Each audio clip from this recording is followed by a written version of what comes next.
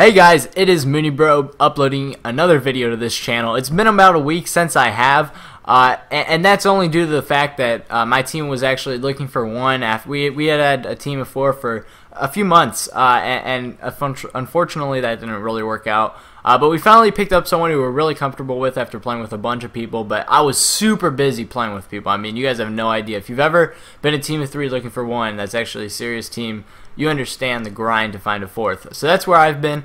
Uh, and, and, I'm definitely planning on uploading more than once a week. Uh, but you know, uh, there's a lot of things that I'm gonna have to. There's a lot of things I'm excited for, is what I'm trying to say. So uh, that being said, I'm gonna hop into this commentary. One of the things I'm excited for is Advanced Warfare, and as you can tell from the title of this video, that's what we're gonna be talking about. We're actually gonna be talking about the game modes in Advanced Warfare. Uh, and I'm making this on a Thursday. I'm not sure when this video will get uploaded uh, to the Whiplash community channel, but I do know that these were conform confirmed, conformed, I don't even know, uh, but they were confirmed on Thursday, and uh, we know that these 12 game modes are going to be in Advanced Warfare on the release date, on the launch date, which is November 2nd. I mean, that's just right around the corner. So excited, absolutely excited.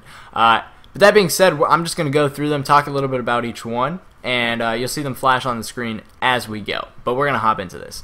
Uh, and oh, before I get into it, uh, also th there might be more game modes that launch. These are just the ones that uh, uh Sledgehammer confirmed. Uh, so that that's the deal with this. Okay, so the first three, well, actually the first four, four are really ones that we expect to be in every single Call of Duty.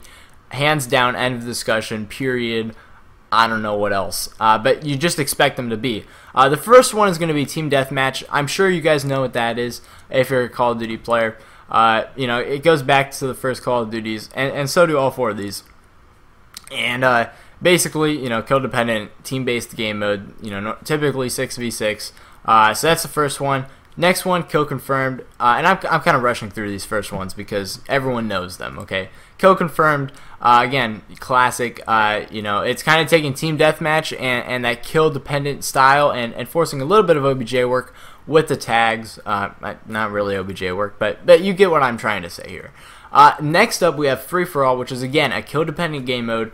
Uh, but it is man versus everyone, or man versus everyone. Man, it's like man versus wild or something.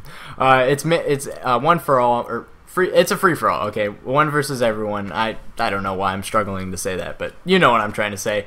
Uh, and then domination. Now this is the classic objective-based game mode. You know they used it in COD 4, bunch of other ones for competitive, uh, and Ghosts, of course. But glad we're not having to, or at least I hope we don't have to use domination in, in Advanced Warfare. That would be tragic, uh, unless it played amazingly well for some reason.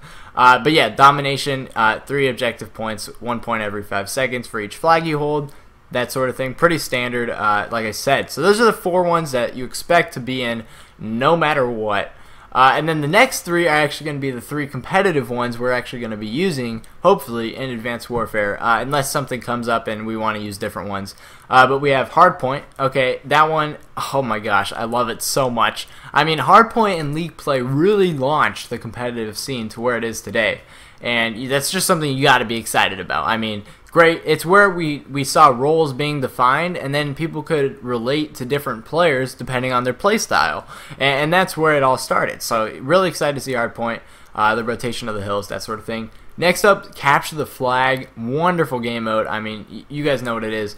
Uh, you know, you have your home flag, you have the enemy flag, you have to get the enemy flag, return it to your own home flag, get a point really low scoring game, and you have to get cuts, and it requires a lot of teamwork as well. So really excited to see that. Speaking of teamwork, next up we have Search and Destroy. Love it. Uh, I don't know what Ghost was thinking when they didn't put it in at the start of Ghost, but hey, we're going to get it at the start of this game, okay? So uh, really excited about that, of course. I'm sure you guys are too. Search and Destroy. You just expect it to be in a Call of Duty until Ghost decided not to put it in. Instead, they put Search and Rescue in, which is our next game mode. Uh, that's also going to be in Advanced Warfare. I don't really care about it. It's kind of weird in my opinion. Uh, and next, we have two game modes that may be in competitive. We have Uplink, okay, which is the one where you have the two portals. If you score the ball, you, there's one ball. If you score it into the enemy portal, then you get one point. Or if you throw it into the enemy portal, you get one point. If you walk it into the enemy portal, you get two. I'm not sure if that'll really work out, but we'll see. Uh, and then also we have Momentum, which is basically War from COD 5. If, COD 5, if you ever played that, uh, that's basically what it is. Then the last two we're going to see on, on the release uh, date here coming up on November 2nd is uh, Gun Game and Infected. I'm going to group those together. They're two party modes. Uh, gun Game is a classic. Uh, you know, you, you, have to work through all the guns in a free for all type setting.